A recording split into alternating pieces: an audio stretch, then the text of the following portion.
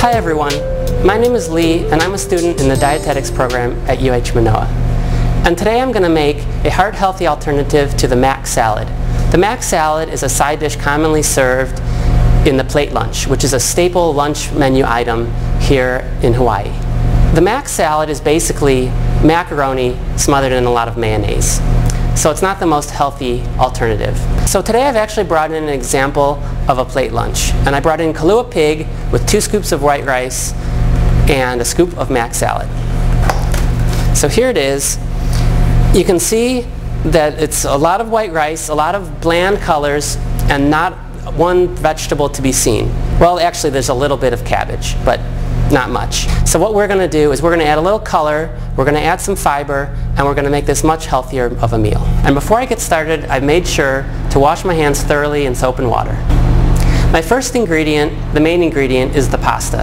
And here I'm using whole wheat macaroni. You can use whole wheat penne or whole wheat rotini or any other kind of whole wheat pasta.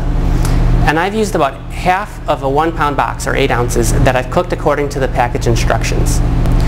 I've also got a um, small head of broccoli here. I'm going to use about two cups of chopped broccoli florets. I have about eight ounces of chopped tomatoes. These are Roma tomatoes um, from Hamakua on the Big Island. I've also got a quarter cup of olive oil, about 8 to 10 leaves of basil which I'm going to chop, 3 cloves of garlic that I have chopped already, and about 8 ounces of fresh mozzarella. Fresh mozzarella is really good because it's low in sodium. So I'm going to steam the broccoli for about 5 minutes, and to get started I'm going to cut it up into florets. And this is really very easy to do. The first thing I like to do is just cut the florets large florets off of the basic stem. Now these just usually just pull right apart, but they're not really bite-sized. So what I want to do is take the bigger ones and cut them into more of a bite-sized piece. And that looks pretty good. We're going to use about two cups because it's such a great ingredient. So now we're all set to throw it into the steamer. Again, we're going to let it steam for about five minutes. The water's at a full boil underneath the steamer basket, and we're going to leave the lid on until the five minutes are up. So what we're going to do next is cook the tomatoes in some olive oil with some garlic to make a nice flavorful sauce to keep the pasta moist. So I'm heating up a pan over medium-low heat and when the pan starts to get warm, I'm going to add our quarter cup of olive oil.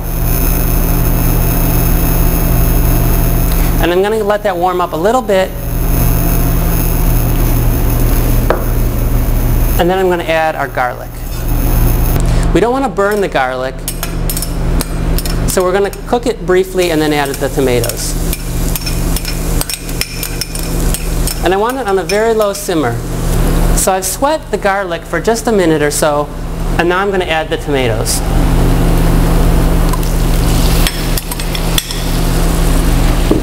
I'm going to cook it for two to three minutes, bring out the juices of the tomato, let it break down a little bit, but not really cook it much more than that. Okay, so now we're ready to put everything together. We have our broccoli, which has cooled, and we also have our tomatoes, so I'm going to add those first.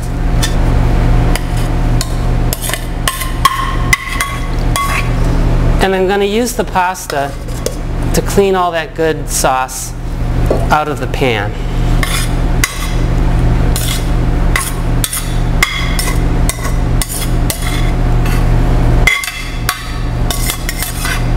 So this recipe makes enough for about four to five servings.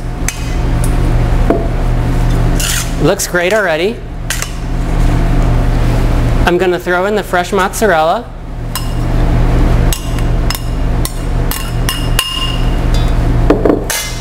And I'm going to take the basil and do a chiffonade.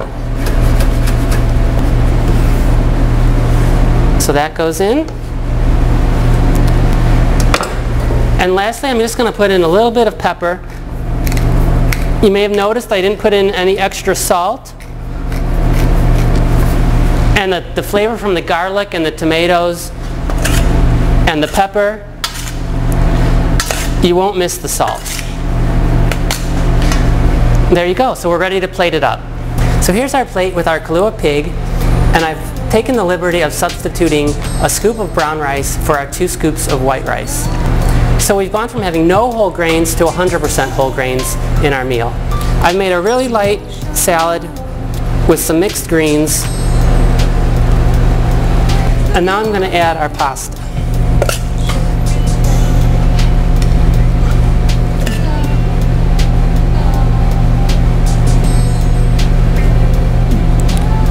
A nice healthy portion.